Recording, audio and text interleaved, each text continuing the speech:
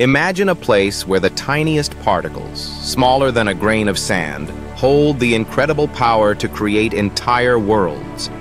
These minuscule motes known as cosmic dust are the often overlooked architects behind the formation of planets. Each speck drifts silently through vast expanses, colliding and gathering with others, gradually forming larger clumps over millions of years.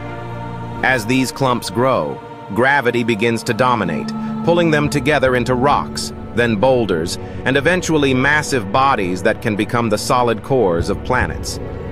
But their role doesn't end there.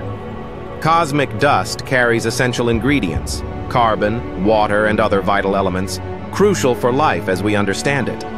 When these grains collide, they often fuse together, generating heat and sparking complex chemical reactions.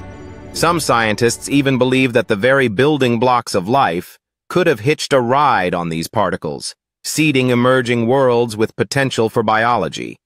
So, next time you gaze upward and ponder the vastness above, remember the origins of planets, and perhaps even life itself, begin with the humble, intricate dance of cosmic dust.